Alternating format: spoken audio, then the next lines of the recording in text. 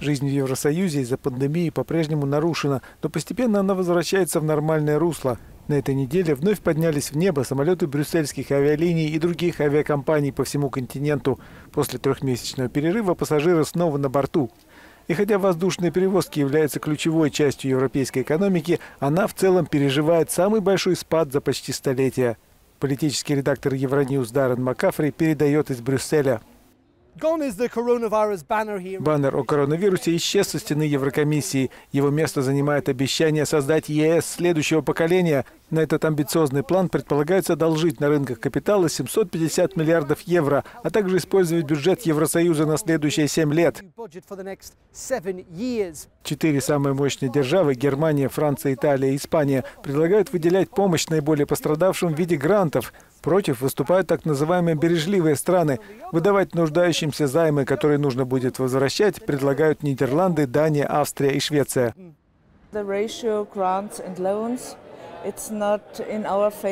Соотношение сторонников грантов и займов не в нашу пользу, признает австрийский евродепутат Анжелика Винцек. Мы также хотим, чтобы условием были инвестиции в реформы. Как я объясню австрийскому предпринимателю, что его испанский коллега получит больше денег в виде грантов?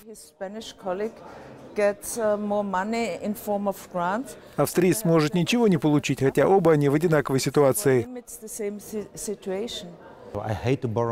Я ненавижу занимать деньги. Так не обеспечишь устойчивости и интересы следующего поколения. Но покажите мне альтернативу, сказал депутат из Германии Манфред Вебер.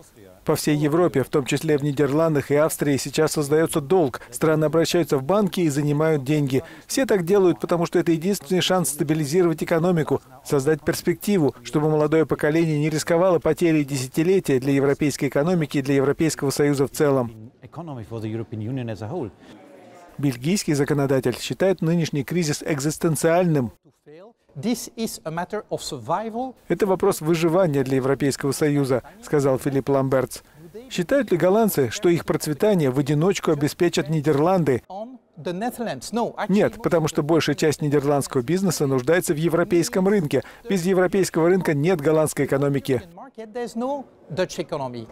Мало кто ожидает, что на видеоконференции в пятницу главы государств и правительств Евросоюза преодолеют этот раскол и договорятся о финансировании восстановления. Возможно, их переговоры протянутся до осени. Но чтобы экономика снова поднялась, лидеры должны найти компромисс и быстро.